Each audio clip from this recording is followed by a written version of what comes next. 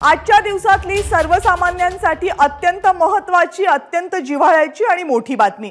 बँकेच्या कर्जाचे हप्ते महागणार आहेत. रेपो रेट वाढवण्याचा मॉनिटरी पॉलिसी कमिटीचा निर्णय झालाय. महागाई दरावर नियंत्रण मिळवण्यासाठी आरबीआयनं हा निर्णय घेतलाय.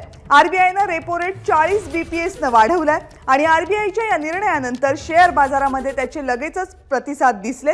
शेअर बाजारामध्ये आज पडझड पाहायला मिळाली. रेपो रेट वाढवलाय चाळीस बीपीएसनं आणि त्याचा परिणाम अर्थातच होणार आहे तुमच्या आमच्या कर्जाच्या हप्त्यावर.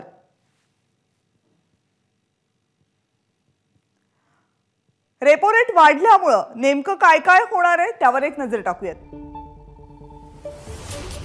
आरबीआयकडून रेपो रेट हा शून्य पूर्णांक चाळीस टक्क्यांनी वाढवण्यात आलाय. ऑगस्ट दोन हजार अठरा नंतर पहिल्यांदा रेपो रेटमध्ये वाढ करण्यात आलेली आहे. म्हणजे तब्बल चार वर्षांनंतर. रेपो रेट वाढल्यानं आता सर्व बँका कर्जावरील व्याजदर वाढवतील. रिव्हर्स रेपो रेटमध्ये मात्र कोणताही बदल करण्यात आलेला नाही. रिव्हर्स रेपो रेट जैसे थेच आहे रशिया युक्रेन तणावामुळे महागाईमध्ये वाढ होत असल्याची माहिती आहे.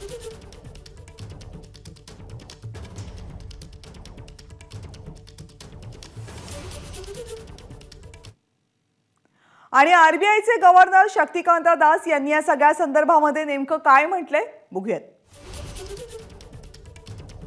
महागाईवर नियंत्रण मिळवण्याचं आव्हान आपल्यासमोर आहे. रशिया युक्रेन युद्धामुळं वस्तूंच्या किमती वाढल्यात आणि त्याचा परिणाम बाजारात होणाऱ्या पुरवठ्यावर झालाय. त्यामुळे देशासमोरची आर्थिक आव्हानं सध्या वाढली आहेत आरबीआयनं रेपो रेट शून्य पूर्णांक चाळीस टक्क्यांनी वाढवून तो आता चार पूर्णांक चाळीस टक्के इतका केलाय. देशामध्ये फूड इन्फ्लेशन पुढे आणखी वाढणार असल्याचे संकेत आहेत. खाद्यतेलाच्या किमती यापुढे आणखी वाढू शकतात? पतधोरण समितीतील सदस्यांच्या सर्वानुमते व्याजदर वाढीबाबतचा निर्णय घेण्यात आलाय.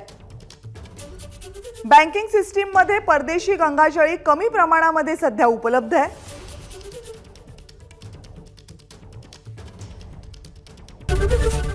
एबीपी माझा. उघडा डोळे बघा नीट.